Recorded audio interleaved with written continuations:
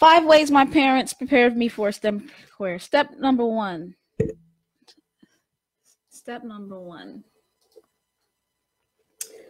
Um, they gave me good early child care. They gave me good early child care. What does that mean? My mom uh, worked.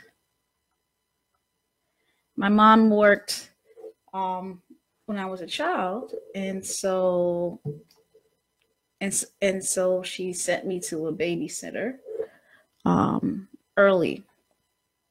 Hey, someone's watching. Just let me know who you are um, so I can greet you. Yeah, she she worked early, so she sent me to um, person I call uh, Joyce Morgan. I call her Auntie Joyce, um, and and and my aunt Joyce, or uh, I call her my early child care teacher she taught me or she really assisted my grandmother in teaching me how to read at an early age. All right. So I was staying with her from a toddler, and my grandmother was teaching me to read, and she would um, reinforce it every day. So I was reading See Spot Run books at three years old um, because she basically um, decided to make her basement a makeshift early childhood care center. I mean, literally, she uh, was a, a woman who was married to a to a husband that was making sufficient enough to take care of her, and um, she raised children um, she had three children, um, but she decided to take children into her home and really train them early. So she was teaching us to read really early. I learned to read at three years old. Why? Because of the dedication of Joyce Morgan. Um, uh, my grandmother was teaching me as well, so they were basically tag team. My grandmother was a nurse, and so she couldn't take care of me. She was working as well. So both my maternal um, uh, parents were were working from an early age and um, but they made sure that hey hey miss charles how are you doing? Um, they made sure that they didn't just send me to any babysitter like uh, this was someone that took us to the library and um, took us out to, to learn things. She was avid about early childhood education. So, step one to preparing someone in STEM, a child in STEM, they have to um, be learning early. Like, there's no Google Gaga at two years old. There's reading, see spot run at two years old right? Like there's no play. Like, oh, we just go out and play and watch TV. Mm-mm, we're not watching TV. I'm trying to set myself up here. We're not watching TV. We're we're learning at two and three years old. And um that was pivotal for me. Step one. Uh gave me a good early childhood, good good early child care. Number two, we're talking about five ways my parents prepared me for a STEM career. Number two, uh, they gave me independence. I'm a latchkey kid. I'm Generation Xer, and uh, our generation was very independent, especially the ones of us that grew up in the city of New York. I'm from New York City, and back in the day, parents really, the baby boomer parents really gave us leeway. Um, they gave us a lot of freedom. I mean, at five years old, I remember five, six years old, I was on a plane and they had a custom. This is a custom of the planes. The stewardesses would take care of children on planes. They didn't have parents taking their kids down places just to come back. Um, they enlisted the help of uh, we call them stewardesses at the time. They're called flight attendants now. And children would fly on planes by themselves. Like when I said I did that a couple of weeks ago, people were shocked. I'm like, that was a that's normal. So at like a young age in the summer, I would be I would get sent to Florida by myself. On the plane by myself. Like I didn't need to be accompanied by my parents. This would be unheard of today. Independence. Um we would walk I, I remember I, I my first couple of years in school, I went to public school and I lived in Hollis, Queens, across the street from PS 118. And I convinced, you know, my grandmother and my mother, they used to walk us to me to school. And by second grade, I convinced my parents to let me walk by myself across the street to school. Like I walked to school. I didn't have them walk me to school. Hey, daddy, what's going on? We had independence.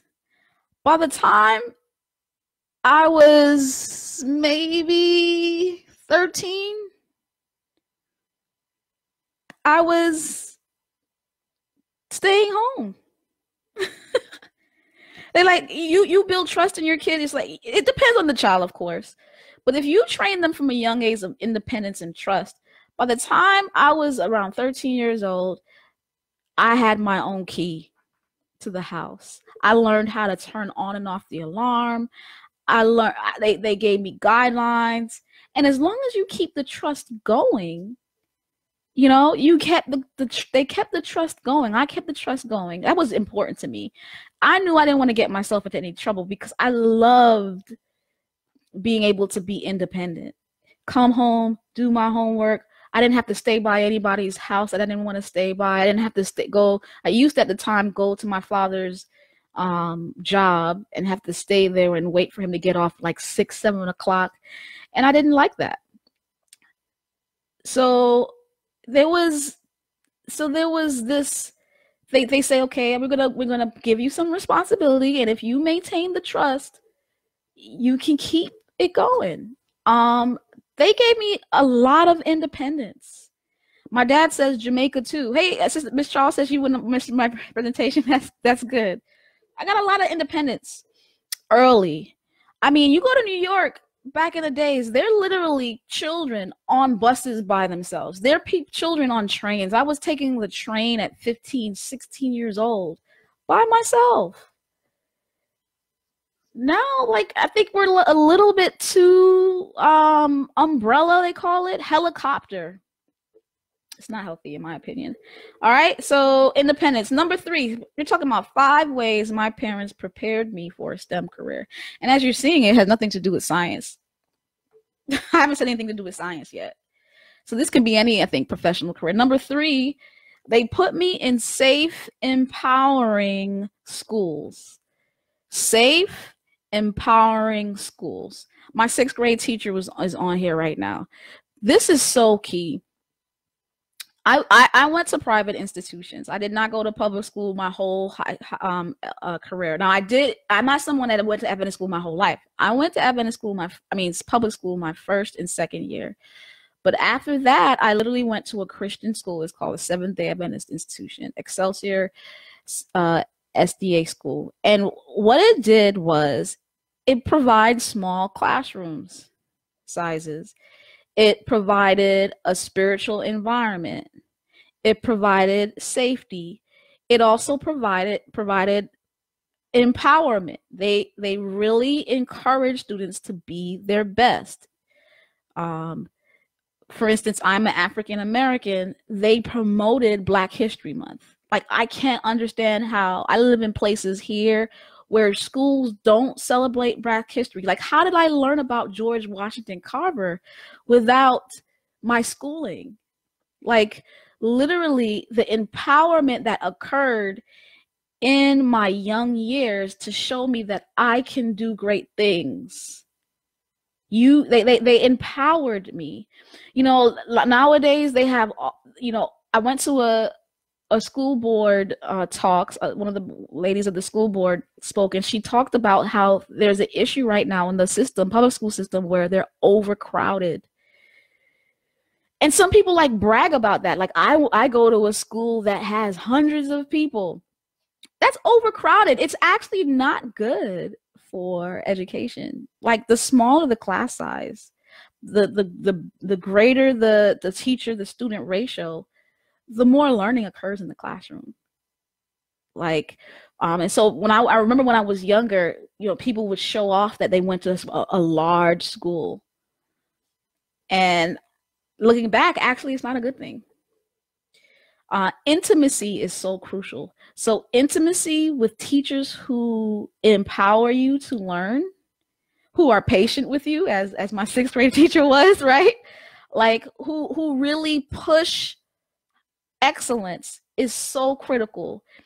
And if you're if you're sending your kid to a school whose teacher doesn't empower them, you know, it's really uh, dangerous, especially in the young years where they're saying, "Oh, maybe they're not a math person." Like that, that, that those kind of conversations just didn't happen in my institution, in my school we could do great things. I remember I was in fifth grade and a poem that we learned was I am special. There's no one in the world like me. Like it, it was foundational.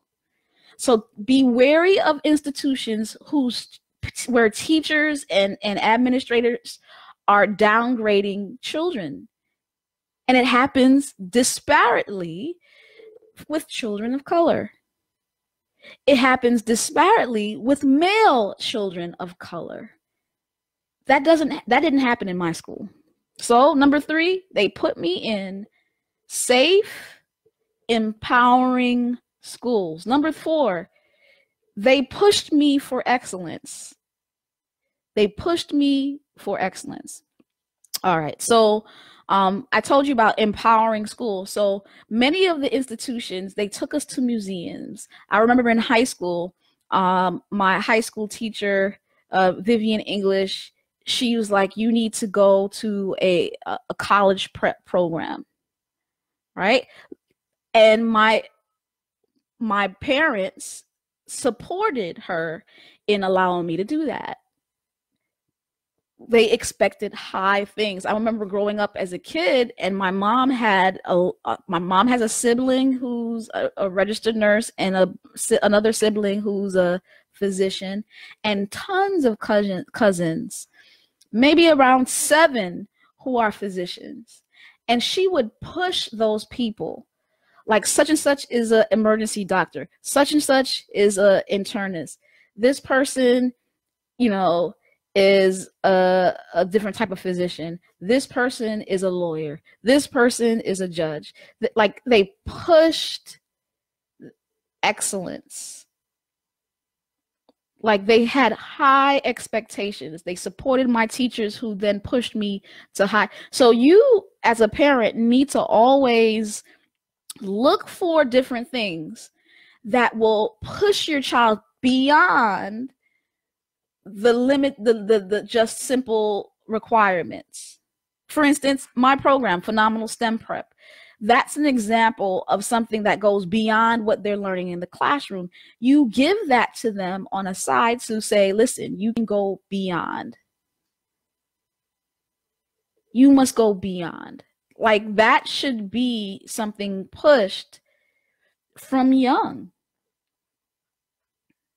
Number four, they pushed me for excellence. Like they had high expectation. They gave me constant examples in my family, uh, in history, uh, that I can go, I can be excellent too. And they they they supported my um, empowering institutions that provided me uh, opportunities that came beyond uh, the classroom at the level that I was in.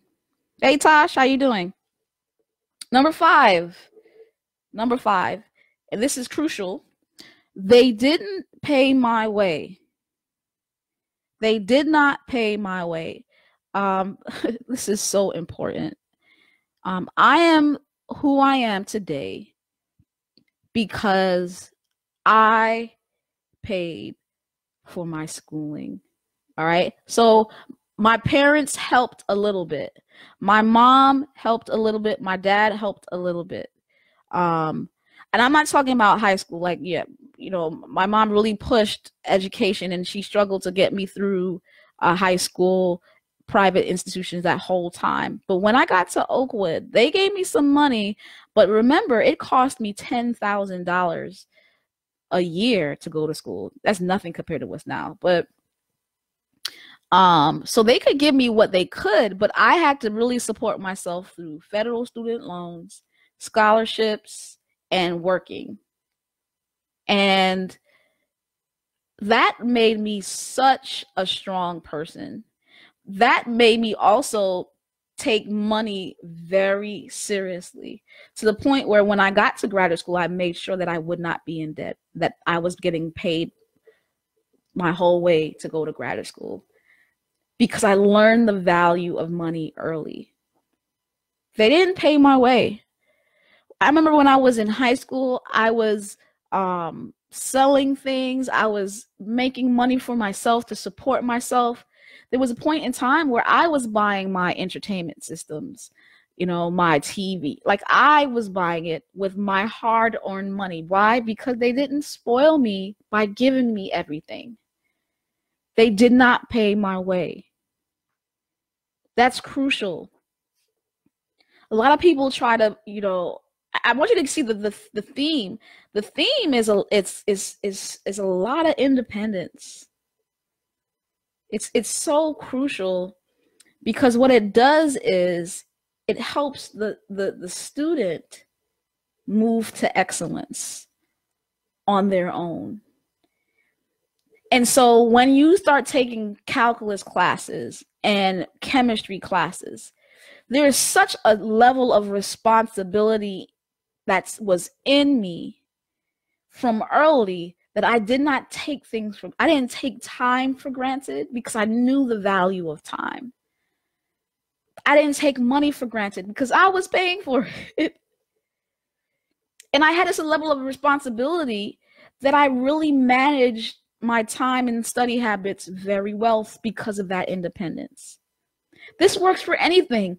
People feel, feel like they have to be a, a science person or a math person. Really, foundationally, they need to know how to read very well. Foundational. They have to know how to read very well. So, by me being in step one, a good early childhood child care, I was reading and my language was good. And so the language that I taught you this before is the left side of the brain. That same left side that is being critical, that is learning language and reading, is also uh, promoting analytical thinking. So by learning to read early, will enhance the brain to understand math early. So it was reading and independence, right? That fostered the development of my brain to be able to handle hard subjects. Is feeling confident in myself. The confidence that I gained from institutions that promoted my excellence, that did not denigrate me, that that did not ignore uh, my culture's impact on society all that built a confidence in, in me that I could actually learn this material, that I'm not inferior to anyone. And then the push towards excellence to go beyond just the, what's minimally required. Taking college prep courses beyond what was required of me. That was crucial. And lastly, my stability in a STEM career, not having the pressure uh, financially, came from having to foot my own college bill for the most part. It helped me become responsibly re- responsible financially. And I respected the courses and the and the college classes that I was taking because it was on me that's the five ways my parents prepared me for a STEM career. Thanks for joining. If you guys have any questions, I see you guys watching. Uh, feel free to ask me uh, now. Um, just to remind you guys that every it's never too late. I have a, a three month uh, program called Phenomenal STEM Prep and this is for pre kindergarten all the way to 12th grade, different levels, uh, depending on their age. Them learning the basics of, of biology, chemistry, and um, physics, uh, especially uh, for the older age groups. I go beyond even that. I teach them financial responsibility so that they're actually prepared uh, to, to do well uh, at the college level, not just uh, academically, but financially as well. So feel free uh, to check out my website, www.phenomenalstemist.com. Um, you can find me on Instagram. Please like and follow me on Phenomenal States uh, STEMist Facebook page and like and share for me. Thanks, guys, for watching. Miss Charles, my dad, Tosh, you guys have a good evening.